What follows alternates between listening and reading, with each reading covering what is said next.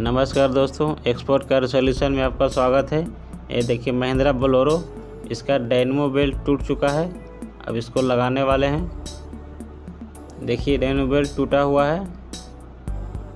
देखिए यह dynamo belt एक हज़ार साठ नंबर बेल्ट लगता है इसमें।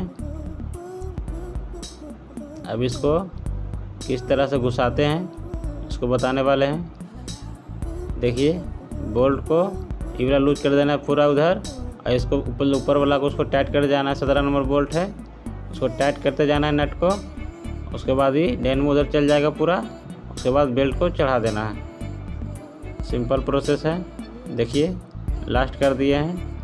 ये देखिए पंखी के साइड में फंसाना है, उसको पंखी घुमाना है पूरा। बेल्ट अपने आप अंदर चल जाएगा। चलिए, घुमाते हैं। देखिए, बेल्ट को लगा दिए हैं। देखिए, बेल्ट चढ़ चुका है। अब इसको उल्टा कर देंगे। इस बोल्ट को खोलेंगे, इस नट को खोलेंगे, इस नट को टाइट कर देंगे। एडजस्टर वाले नट को। देखिए, टाइट हो चुका है।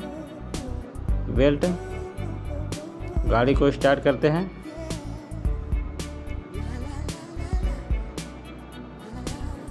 देखिए गाड़ी स्टार्ट हो चुका है। वीडियो पसंद आए तो लाइक, शेयर, सब्सक्राइब कीजिए। ऐसे ऐसे और भी वीडियो बनाते रहते हैं। थैंक यू दोस्तों।